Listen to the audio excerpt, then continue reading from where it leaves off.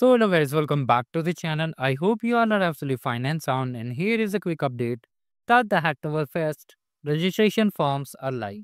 So how you have to register and how you can start the next step. So in this video we'll cover this. First of all, if you're new to this channel, do like the video and just subscribe the channel. So here before the we start, you need to create a GitHub account or GitLab account. I'll recommend GitHub account because it is very easy and I'm using it so I will help you to create an account. First of all, open github.com, click on the sign up option and here basically you have you can continue with the Google directly or just enter your email, password, username, country and just create an account. Okay. Then you'll be just asked to solve one puzzle and simply just verify using your email in which you have just registered and then your account will be ready. Now if you have already a GitHub account, just sign in over here and just enter the username and password or just continue with the Google. Chances are there if two-factor authentication is enabled, you'll be getting an email over there. Okay, so you need to just check it. Now here, come to the Hacktoberfest homepage. You can see here, register for the Hacktoberfest. You have to simply click on register for the Hacktoberfest and you'll be redirected to another page. Okay, so here you can see authorization in progress now here, basically you have to just authenticate with the GitHub account. If you are using GitLab, you can authenticate using the GitLab also. Or if you are using the GitHub, you can initiate using the GitHub. So here we are using the GitHub, so we'll be using that only. Now here basically you have to authorize your GitHub account. Okay, simply here you have to just authorize your GitHub account with the Hacktoberfest. So just authorize over here and here it is just processing all the process. And once it is done it will show your username and the details. So just wait for some time. Now here you can see registration is being loaded. Now here all the details. So here you have to select whether you are a newbie familiar or experienced. So depending on your experience level you can just select it. So i am selecting newbie for it but i am already experienced person. Now here how you'd like to contribute in the program. So code and no code. The code means you are just changing the code base or just improving some functionalities. For basic example, like you are enhancing a website, adding a features or a many thing. It can be website, it can be an app, it can be any personal projects, etc. So you can select code. And no code means like documentation, like adding a GitHub repo and just improving the README style, just improving the code structure, etc. So basically here, it means like design, implementation and documentation. So you can just select both of them.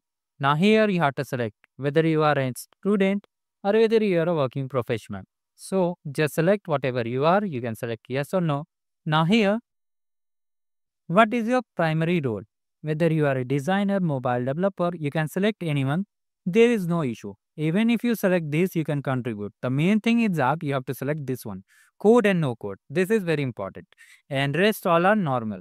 So now here, which country you are participating from. So just select India like this or if you are from another country, you have to select it like this. Now all these things are done. If you want to just enable all these email promotion, you can enable it. There is no issue. So you can just enable it. Okay if make sure to enable the DigitalOcean web because they will be they will be sharing a progress report like how many repositories have been merged how many repository will be merged how many repository you needed to be getting merged. So like this you'll be getting. Now here are some rules and condition. You can read it and just click on i agree and acknowledge all the rules over here. Simply and then just simply click on register. Now once you click on register here be registered and your profile will be ready for execution. So just wait for it to get completed. You can see here our profile is ready. Here it will be your profile picture. If you are having a different profile picture, it will be shown over here. Now here they are showing that progress. So now here you have to complete four pull requests. How to create a pull request, how to submit a pull request, I'll make a detailed video on it, do not worry. Also, I'll be creating a sample repository which will be helping you to just learn about it. So stay tuned for it. One more important thing is that if you face any issue, you can let me know in the comment section. Now the event is officially starting from 1st of October. Till then, you can just explore the website and just read about the documentations also. And they have a Discord server also. If you have any queries, you can reach out to them also directly. Now here, do not start doing any pull request. Wait for 1st October, October, then you only start to do it. Now here, all these things are covered. If you're new to this channel, do subscribe the channel and like the video. And regarding other programs, you can see over here, all the programs videos are here. If you are participating in the arcade program, you can watch this video. If you want to visit and have a quick tour of Google Office, you can watch this video. And if you want a certification voucher to your cost, you can watch this video. So that's all about this video. Do like the video and subscribe the channel guys. Here is the basically in-depth detail video also regarding the Hacktoberfest event. So I hope it clears your doubt. Thank you. Have a great day.